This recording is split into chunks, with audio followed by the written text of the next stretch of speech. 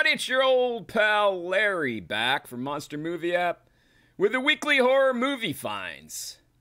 It's been a long time since I've done one of these, and shit's accumulating like fucking crazy. Uh, I'm starting off with a little stack today. We're just gonna we're just gonna get the tip wet today, and then uh, you know next week we'll fucking hit it hard, really hard, like fucking hard. I've got like uh, I've got stuff from a convention that I went to, and uh, I bought uh, 288 VHS tapes from a lady off of Craigslist that I've yet to go through. I've got shit going on, but like you know, I'm gonna go through it, and uh, those will be two separate ones. This is just like a little stack of some thrift store, flea market, and eBay shit that I've had fucking stacking up for a while. Let's do VHS first. Who's here? Vanessa and Todd and Mom. Hello, everybody. What is this face hair? I don't know what you're talking about. This is the same face hair I've had for years. So, uh, yeah, VHS. You know, I saw this movie when it came out in fucking 91 or something, and I fucking hated it. I hate this movie. Uh, and, uh, you know, I fucking. I feel like everybody loves it, and maybe I need to give it another shot. It's been, what, fucking decades now? And I found this for fucking nothing, so I was like, I'm gonna grab it and rewatch it. I'm pretty sure I'm gonna fucking hate it again. Just, I mean, just based on the artwork. It looks fucking corny as shit, doesn't it? I haven't seen the Cabal cut that everybody's fucking talking about. Like, it's fucking 10 hours long. And now there's like a fucking 15 hour long one that's coming out soon. Um, you know, I'm thinking it's probably not necessary, but there's rabid fucking fans. Hello, Lindsay. Welcome aboard. Um, yeah, there's rabid fans. They're fucking everywhere. Uh, I'm assuming they're all fucking idiots, but like, you know, I gotta, I gotta fucking give it another watch just to confirm. I did the same thing with fucking what is it? Um, Sleepwalkers. Is that it? Sleepwalkers? Stephen King. Um, the fucking cat people remake, fucking ripoff, whatever. Um, and like I hated that movie when I first saw it. Went back and watched it again. Still hate it. Still hate it. And Todd Lynch, buddy, my buddy says Cabal cut socks stick to the original. Well, there you go. Well, the thing is, is that I think the Cabal cut was for people that fucking hated the original. Um, but like, I don't know. Like, isn't the Cabal cut more serious? I just remember it being fucking goofy. Sleep Stalkers. That's not the name of it. Sleepwalkers. Isn't it Sleepwalkers? With the fucking the cats and uh it's a fucking Stephen King movie. Somebody look it up while I get back to this. Uh this is uh I've never seen this movie. I don't know anything about it. And uh, you know, like it's one of those tapes that I've never seen out in the wild. I know it's a full moon joint, which is usually a bad sign for old Larry. I'm not into that fucking shit. Um Vanessa says, yes, cats, sleepwalkers. Yeah, sleepwalkers. Sleepstalkers might be fucking my jam. Sleepwalkers was fucking not. Twice. Twice I still hated it. Years later, I think I hated it more. So, uh, yeah, this looks like a top quality full moon production, as you can tell by these pictures. I don't know. I don't know why I do this to myself. You know, I just, I just can't stop. I have a fucking problem and I and I keep fucking going. Um, so this is probably this is fucking this is boner time. Fucking 100 100% fucking aroused when I fucking saw this. I love bootlegs. I love bootlegs. It's fucking uh I don't know why either, you know? Like this it reminds me of the old convention days when like you could only get fucking you know like Japanese movies on fucking badly made VHS bootlegs and uh, I'm nostalgic for it. But like, I found this at a fucking thrift store. What are the odds? What are the odds? Ring Zero. It's like the fucking prequel first part of the Japanese Ringu or Ring movie, depending on who you ask. And, uh, you know, I've seen it before. I have a DVD collection of fucking all of them. Well, not all of them now, but all the good ones. And, uh, you know, wait till you see the tape, though. This is a. Somebody spent a lot of time on this motherfucker. I mean, there you go. like, you know, somebody fucking. Somebody sat their fucking two year old down with a fucking marker and said, you know, I, I want a top notch fucking label on this, son or daughter. And uh, and by the way, go get the packing tape because we're gonna need to fucking really, really attach that on there. And we'll sell it at conventions for fucking fifteen dollars. Fucking saps like me will buy it. But you know, like, what are the odds of finding that shit at a fucking thrift store? I- I'm still aroused. I'm aroused, fucking looking at the shipping tape. Who's talking? Nobody. Losers. Um, some more thrift store stuff, I guess. I have a PSP. I have a PSP, and uh, I'm living with it. It's better than the fucking Wii thing that I got going on, but uh, not my wiener, like a fucking Nintendo Wii. Um, I have one of those, and I keep buying shit for it, even though I've never played it. And I have two of them, and like accessories, and I don't even fucking want them. But if I found a horror video game tomorrow at a thrift store for cheap, I would buy another Wii game, and I'm fucking sick of myself. I'm fucking, I'm sickened by myself. But, uh, you know, PSP is way cooler, and uh, I'm getting all horror movies that aren't fucking, like, god awful remakes or whatever. You know, Resident Evil, the first one was alright. I mean, compared to fucking all of the sequels, maybe part two wasn't too fucking bad. Now it's just fucking CGI action bullshit. And, uh, you know, they fucking lost the plot on that. They're just fucking, they're just doing it to make a lot of money. And, uh, you know, they're awful. They're awful.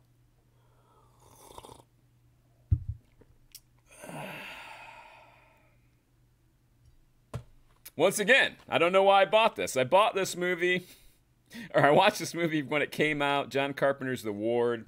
It's the last John Carpenter movie. If you don't know how to take off these stickers, everybody, it's quick like a band aid. Like that. Won't leave any sticky residue. Works every time. Every time. So, yeah, this movie kind of sucks as I remember.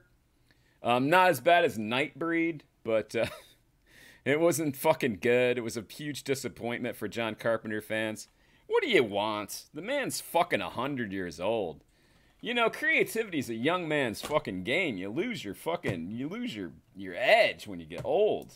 It's a fucking fact. sorry. I've got no fucking edge.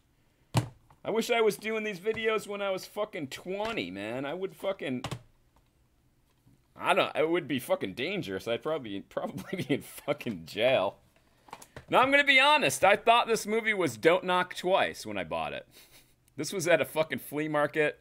I think I was, you know, like, you go to flea markets, this shit's so cheap.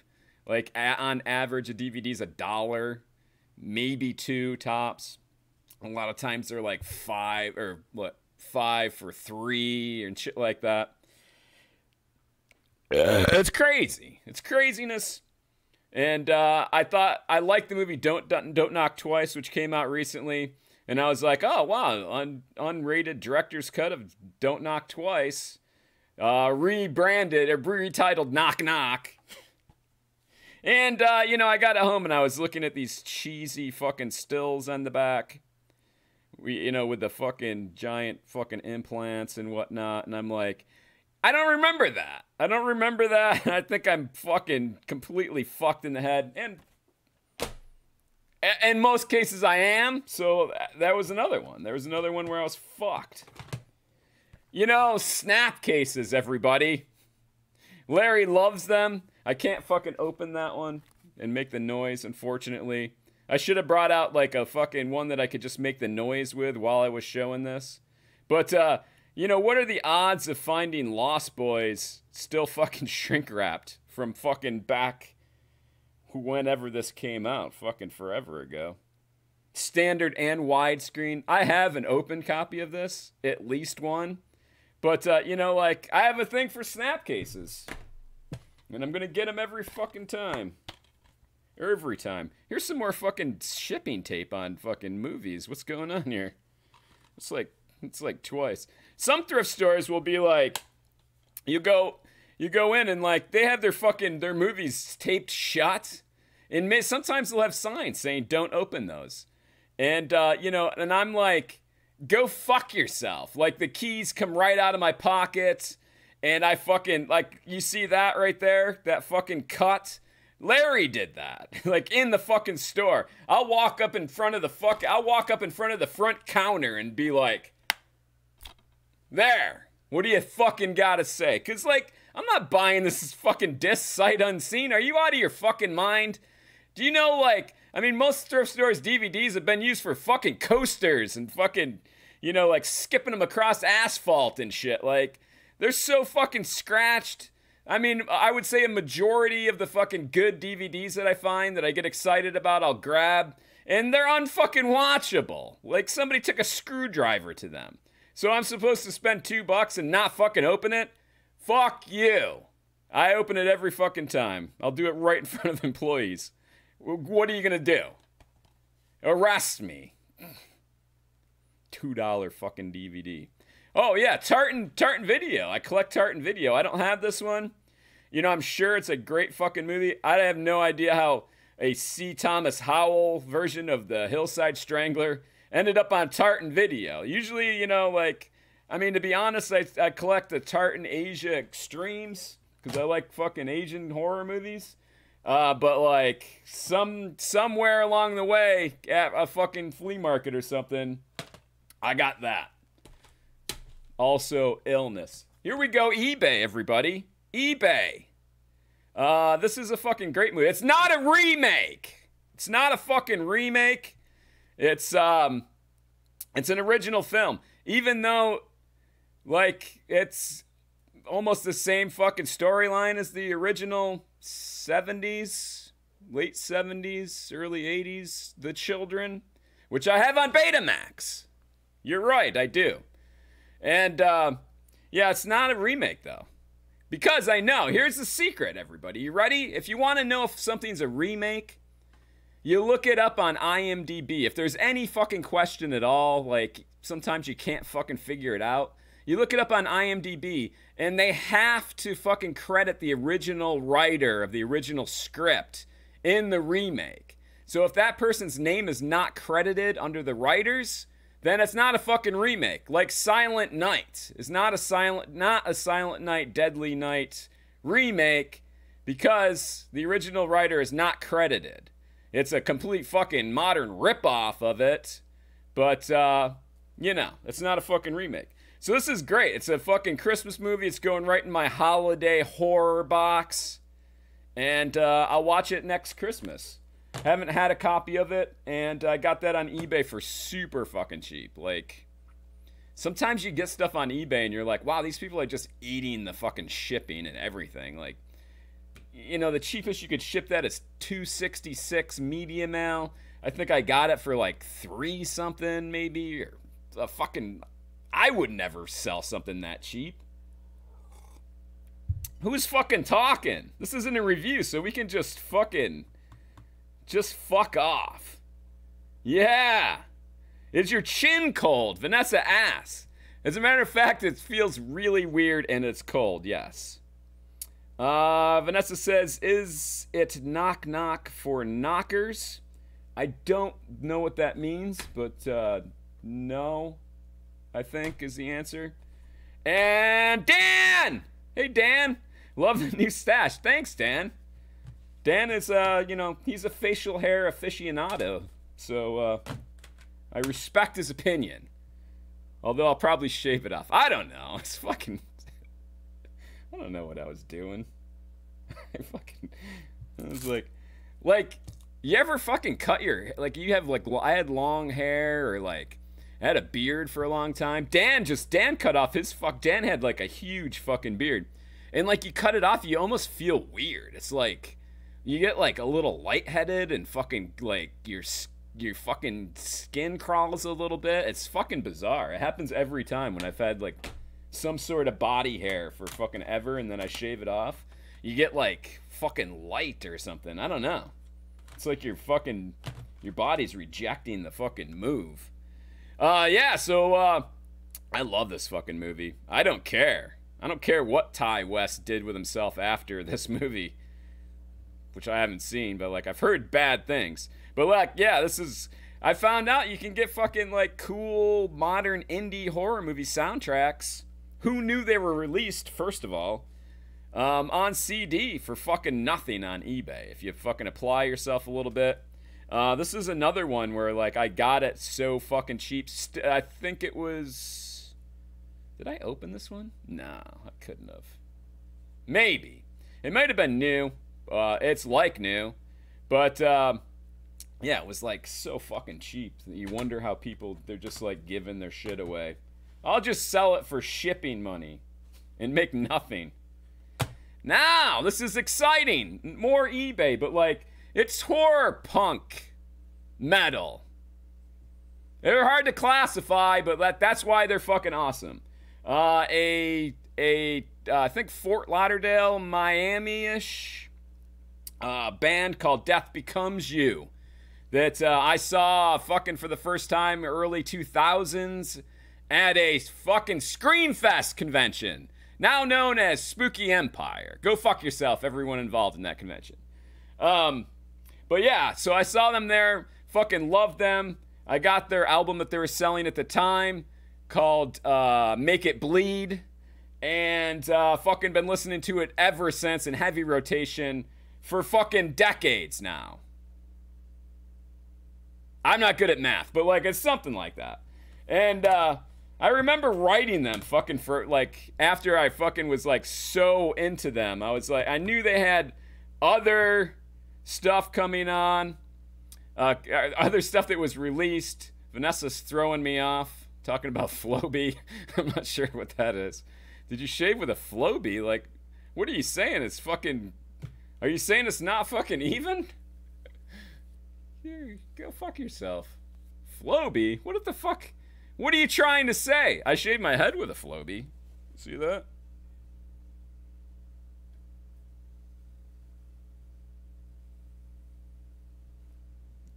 Nice.